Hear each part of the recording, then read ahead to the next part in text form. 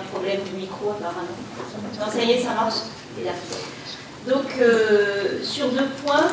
Euh, d'abord, euh, je vais revenir sur la genèse et les principales caractéristiques de ce qu'on appelle les portfolios. Et dans un deuxième temps, je m'interrogerai sur l'éventuel intérêt d'une démarche de type portfolio pour l'enseignement des langues au Japon dans la perspective d'une éducation plurilingue. Alors je voudrais juste faire un tout petit, tout petit point, euh, une toute petite mise au point au départ. Euh, mon collègue, M. Oki, euh, a dit tout à l'heure qu'on ne pouvait pas atteindre une compétence plurilingue et pluriculturelle si on n'avait pas un nombre d'heures de cours suffisant. Je ne suis pas tout à fait d'accord avec ça, c'est-à-dire que je pense que la compétence plurilingue et pluriculturelle telle qu'elle est définie euh, dans le cadre européen commun de référence pour les langues et telle qu'elle a été euh, élaborée, enfin, la notion telle qu'elle a été élaborée par euh, Daniel Coes, Daniel Moore et Geneviève Zarat en 1997, insiste bien sur le fait que cette compétence n'est pas du tout une question de, quantité, de nombre de langues, ni euh, de, degré de, maîtrise euh, dans chacune de ces langues, mais d'une démarche intégrée qui permette de tirer parti de toutes les ressources qu'on peut avoir euh, dans diverses langues de manière déséquilibrée, partielle, etc. On pourra y revenir dans le débat tout à l'heure si vous le souhaitez. Alors, sur euh, le premier point, genèse et euh, principales caractéristiques des portfolios euh, des langues. la première chose, c'est que le principe même des portfolios, comme je l'ai dit ici de manière un petit peu humoristique, n'est ni une nouveauté, ni une technique spécifique, loin de là, à l'apprentissage des langues. C'est principalement dans le domaine du travail et de la formation professionnelle que s'est développée la notion de portefeuille de compétences ou portfolio, après avoir fait l'objet d'utilisations quelque peu différentes dans le domaine euh, artistique par exemple, où depuis longtemps euh, les professionnels rassemblent des éléments significatifs de leur parcours et de leurs œuvres pour se présenter euh, aux autres. Euh, si, je regarde donc euh, cette notion de portfolio, elle a été euh, largement développée et popularisée, en particulier à la suite des travaux sur les histoires de vie en formation d'un certain nombre de, de, collègues qui travaillent notamment dans le domaine des sciences de l'éducation. et dans tous les cas, le principe de base est le même.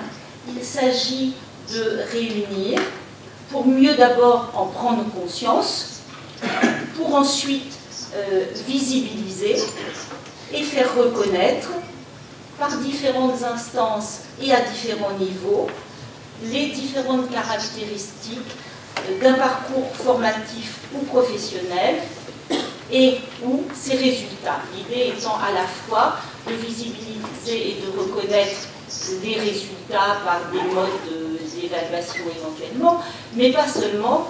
Hein, il s'agit bien aussi de visibiliser le parcours et sa construction. Dans le domaine des langues et de leur apprentissage, il semble que les premières euh, mentions aux, biographies langagières, qui sont les, ancêtres, si on veut, des portfolios, remontent à la fin des années 70, d'où euh, rien de nouveau depuis tout à l'heure, dans le cadre des travaux sur l'identification des besoins des apprenants, notamment adultes. Euh, on, trouve mention, alors vous avez à la page, si vous voulez suivre, vous avez euh, les, références à tous ces travaux à partir de la page 16 dans votre livret rose, hein, et vous avez donc une citation d'un extrait du livre de René Richterich et de Chancerelle en 1977, qui rappelle, qui, mentionne cette question des biographies langagières. Ces réflexions euh, s'inscrivent euh, dans des orientations développées donc au cours des années 70 par le Conseil de l'Europe suite à deux symposiums qui ont eu lieu et qui étaient destinés justement à étudier les possibilités d'organiser l'enseignement et l'apprentissage des langues en Europe sous la forme euh, de ce qu'on appelle un système d'unités capitalisables, c'est-à-dire des unités qui peuvent être acquises indépendamment les unes des autres et validées pour les apprenants indépendamment les unes des autres, de manière à pouvoir s'ajouter au fur et à mesure du parcours. Ces idées donc ont continué à cheminer tout au long des années 80, enrichies par les travaux sur l'autonomie dans l'apprentissage, on en a parlé juste avant avec l'exposé de, de Francis Carton, et ont aussi contribué à alimenter le contenu euh, de ce qui s'est appelé le livre blanc sur l'éducation et la formation, qui promeut l'apprentissage tout au long de la vie, prévoyant notamment, je cite, euh, d'offrir des moyens plus souples de reconnaissance des compétences, en proposant par exemple de réaliser, je cite toujours, des cartes personnelles de compétences. C'est extrait du livre blanc de l'Union européenne en 1995. Et donc ce livre blanc fixe, aussi comme objectif pour l'Europe la maîtrise de trois langues communautaires. Les études euh, préparatoires à la réalisation du cadre européen commun de référence pour les langues, qui euh, se sont développées à l'initiative Conseil de l'Europe tout au long des années 90, sont donc logiquement centrées sur un certain nombre de notions clés qu'on va retrouver évidemment dans le cadre européen commun de référence pour les langues, qui sont la question de l'autonomie, dont on parle beaucoup cet après-midi, euh, liée à ça la question des stratégies euh, d'apprentissage, euh, la question du plurilinguisme et de l'éducation plurilingue, et la question des aspects interculturels, donc développés à travers ces, ces éléments. Ces dimensions sont toutefois plus ou moins prises en compte et documentées, selon les pays et les concepteurs, dans les portfolios européens des langues, qui voient donc le jour, euh, avec le cadre, à partir du début des années 2000, en tant qu'application concrète euh, de ces dispositions. Sur, ces, quatre directions, hein, si, vous voulez vous reporter, euh, ces études préparatoires à l'élaboration du cadre ont été publiées en 1998 dans euh, un numéro du Français dans le monde recherche et application qui s'appelle Apprentissage et usage des langues dans le cadre européen, où vous retrouvez les principales études préparatoires euh, au cadre européen. Donc, sur les portfolios européens des langues plus, à plus proprement parler, euh, ces portfolios, pour, tels qu'ils existent donc actuellement depuis le début des années 2000, euh, pour être accrédités par le Conseil de l'Europe, répondent à des principes et à des lignes directrices communes fondées sur les objectifs généraux du Conseil, tout en étant largement contextualisés selon les pays, les âges, les types de publics concernés, etc. Hein, on a des, portfolios euh, selon les pays, pour des enfants, pour des collégiens, pour des adultes, des portfolios plus centrés sur des dimensions professionnelles, etc. Ces portfolios, donc, pour être accrédités, doivent tous être organisés selon une structure euh, identique, une, ce qu'on appelle une biographie langagière, qui est destinée à favoriser l'implication de l'apprenant dans la planification de son apprentissage, dans la réflexion sur cet apprentissage et dans l'évaluation de ses progrès euh, dans les langues concernées. Euh, deuxième, euh, deuxième élément, un dossier qui permet de rassembler des matériaux divers qui servent à documenter et à illustrer les expériences et les acquis au cours de cet apprentissage. Troisième élément, ce qu'on appelle un passeport, qui est en fait une sorte de récapitulatif de, euh, l'ensemble de, cette géographie, qui mentionne à la fois euh, les certifications officielles, par exemple, euh, les examens obtenus en langue, etc., mais aussi qui fait état, en les récapitulant, des compétences langagières et des expériences d'apprentissage linguistique et interculturel significatives, en incluant par exemple des informations sur les compétences euh, partielles et spécifiques. Ce qui m'intéresse dans les portfolios, c'est pas tant les outils en eux-mêmes que la démarche qui les sous-tend, démarche qui est caractérisée par trois fonctions des portfolios. Une fonction d'information, il s'agit donc d'un document personnalisé qui appartient à l'apprenant, c'est très important, qui l'accompagne pendant tout un cycle de sa scolarité ou une période de sa vie pour évaluer et éventuellement certifier ses compétences en langue et mentionner ses expériences d'utilisation et de découverte linguistique et interculturelle. Deuxième fonction, une fonction pédagogique, l'auto-évaluation et l'évaluation participative jouent un rôle de prise de conscience des critères pertinents d'apprentissage stratégique et de valorisation des, des connaissances, des capacités, des dispositions et attitudes qui peuvent être acquises dans le cadre scolaire ou en dehors. Enfin, une fonction éducative de renforcement de l'autonomie et de valorisation du plurilinguisme et du pluriculturalisme par la prise en compte et le développement de compétences dans plusieurs langues cultures chez l'apprenant dès le début et tout au long de son apprentissage. Pour remplir ces fonctions, les portfolios sont donc à la fois personnalisés, comme je l'ai dit tout à l'heure, et harmonisés. L'harmonisation réside principalement dans leur structure commune, ainsi que dans la grille de référence du cadre que vous connaissez tous, qui est toutefois adaptée. Et euh, on peut constater une grande variété dans la réalisation concrète de ces objectifs communs. Tous les documents et recommandations européens insistent sur le plan de l'harmonisation, sur la nécessité d'une affirmation forte de la dimension plurilingue et pluriculturelle, qui est toutefois loin d'être toujours effective. Alors ce que je vais prendre euh, tout de suite comme exemple, justement, à propos de ce, lien entre portfolio et plurilinguisme, c'est l'exemple du portfolio européen euh, des langues pour le collège réalisé en France. Pourquoi? Parce que j'ai contribué à son élaboration et je le connais bien. Et donc, euh, vous expliquer un petit peu comment cette dimension plurilingue est présente dans ce portfolio. Euh,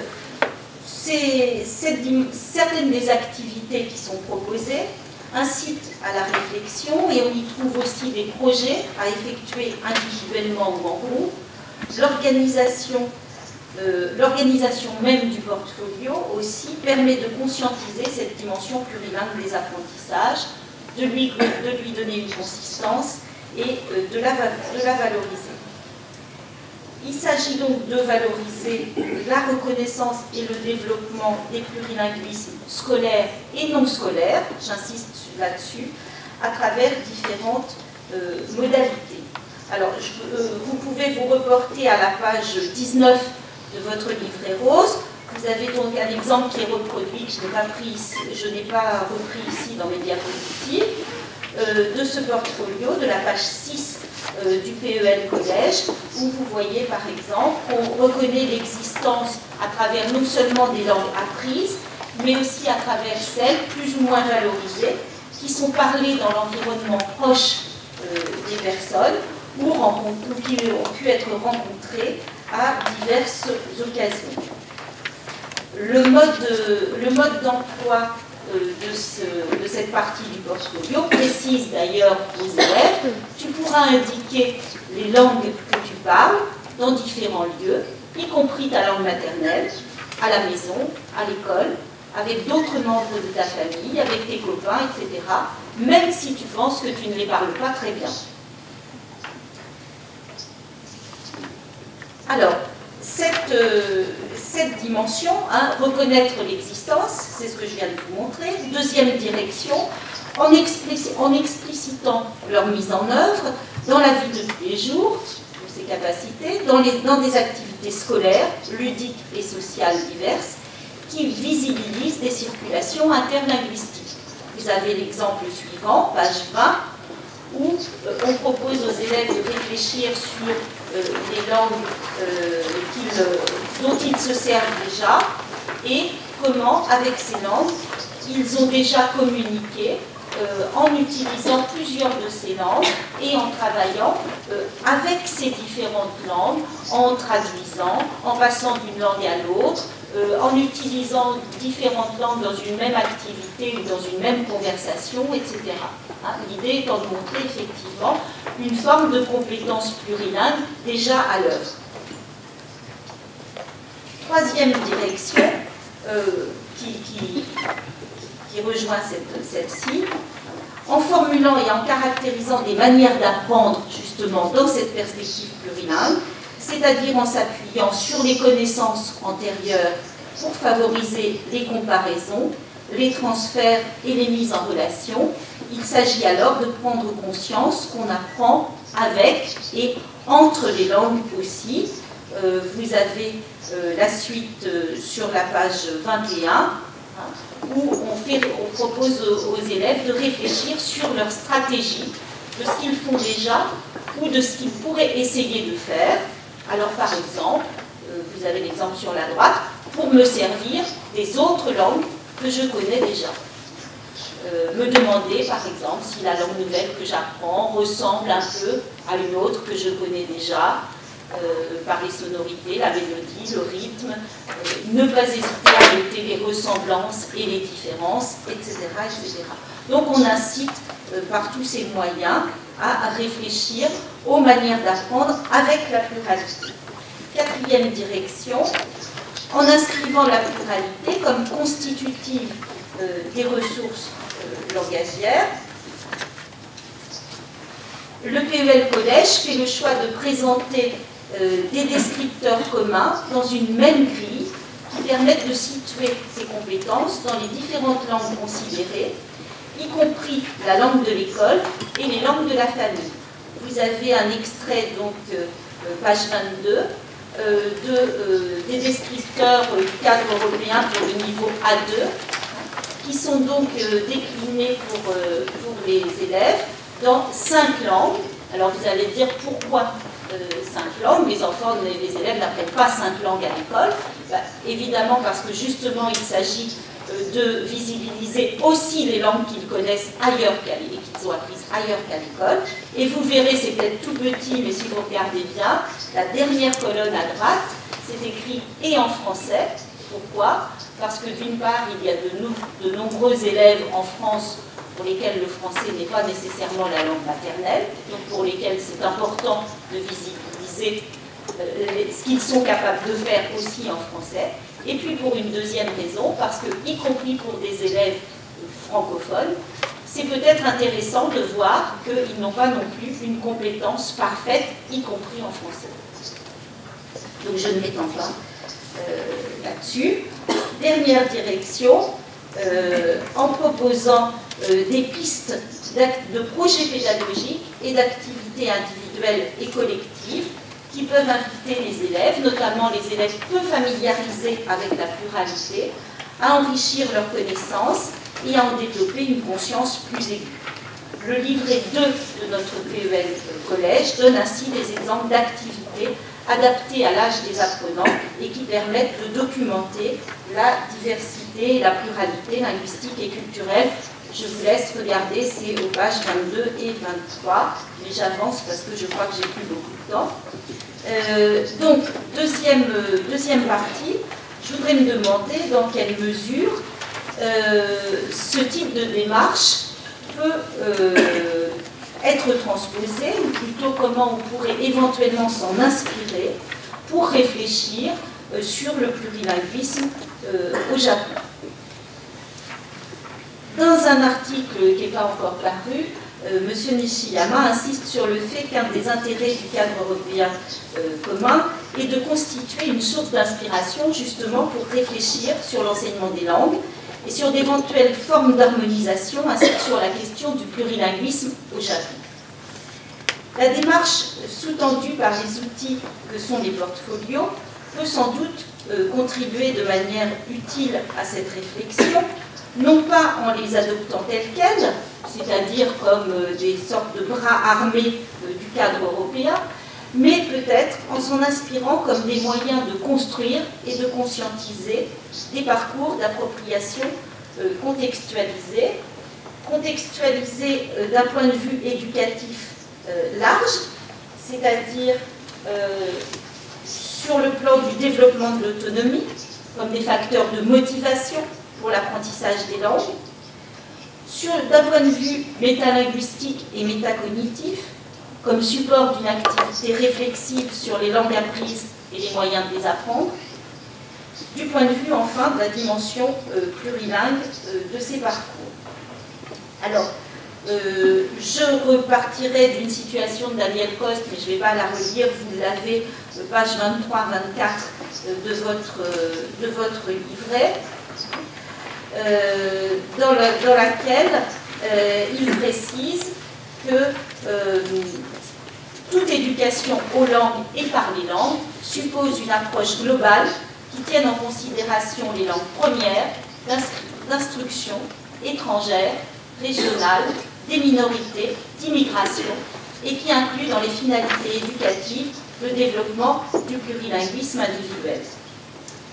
Les sociétés euh, contemporaines sont caractérisées par l'accroissement de la pluralité, de la diversité linguistique et culturelle, et euh, le Japon n'échappe pas à cette tendance, même si euh, le phénomène y est sans doute moins développé que dans d'autres lieux, et si les enjeux y apparaissent très différents de ceux qu'on peut identifier en Europe par exemple, en particulier en matière de politique linguistique. Ma connaissance du Japon est très modeste, mais si j'essaie de procéder rapidement à un tour d'horizon des formes de plurilinguisme qu'on peut y discerner, il me semble que, comme dans d'autres environnements, on peut les regrouper en trois grandes catégories. Les formes de plurilinguisme avec les langues étrangères, dites étrangères parce que je pense qu'il y a des degrés dans l'étrangeté, euh, donc l'anglais, les autres langues étrangères enseignées et les langues des pays voisins, enseignées ou non.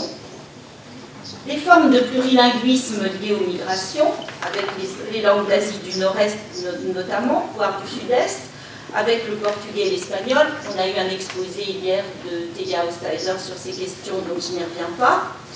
Et aussi ce que j'appellerais des formes de plurilinguisme interne, entre guillemets, avec des langues considérées comme différentes, mais aussi avec des variétés de japonais, variétés de japonais oral, mais aussi avec la variété des graphies du japonais qui me semble déjà peut-être une première forme de pluralité.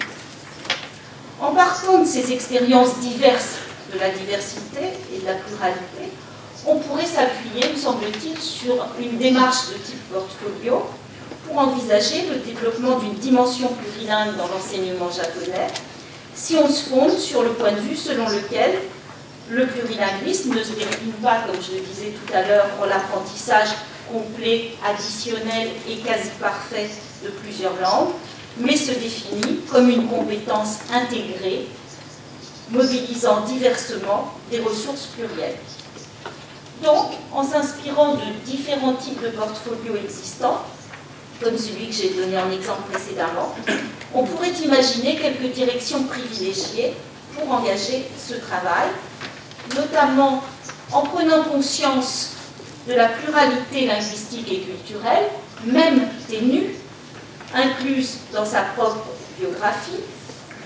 Alors, comme exemple, vous pouvez regarder en bas de la page 25 euh, quelques, quelles langues j'ai apprises, hein, langues apprises à l'école, etc., etc. Comment ces apprentissages, expériences se sont-ils passés pour moi, se sont-ils passés pour moi? Vous avez des exemples sur le site du Conseil de l'Europe dans un guide pour les formateurs sur les portfolios. En réfléchissant aux moyens de transformer ces expériences en compétences par euh, la valorisation des aspects de la compétence plurilingue en construction déjà chez les apprenants. Qu'est-ce que je sais déjà faire? Euh, dans quelles conditions je peux avoir recours à d'autres langues, à, à ce qu'on appelle du parler bilingue, selon les personnes, les situations, etc. Et enfin, en travaillant sur les stratégies à développer pour apprendre des langues en général, mais aussi pour tirer parti des capacités déjà construites et de leur transférabilité. Qu'est-ce qui peut être transféré? Qu'est-ce qui peut être comparé? Euh, en s'appuyant sur l'apprentissage antérieur de l'anglais, on en a parlé à différentes reprises ici, sur les emprunts du japonais à des mots d'origine latine, sur du lexique international, etc. En conclusion, les débats de cette table ronde sont centrés sur les relations entre l'autonomie et la compétence plurilingue et pluriculturelle. Une démarche biographique telle que celle euh, développée dans les portfolios apparaît intéressante pour tisser ces relations dans la mesure où elle associe étroitement la mobilisation d'une conscience réflexive des apprenants et leur devenir en les incitant à construire des projets d'apprentissage réalistes en fonction de leur parcours et à auto-évaluer aussi bien le processus que le résultat. Ce type de démarche en, visibilisant des parcours déjà partiellement plurilingues et pluriculturels, explicite des moyens de continuer à développer et enrichir cette compétence, tout en visant à conquérir une certaine autonomie, les deux aspects se renforçant, à mon avis, mutuellement. Le développement de la compétence plurilingue permet, puisqu'on s'appuie sur des compétences déjà là, d'être plus autonome dans l'usage et l'apprentissage des langues, et le renforcement de l'autonomie sécurise et encourage à aller plus loin dans l'apprentissage. Voilà, je vous remercie pour votre attention.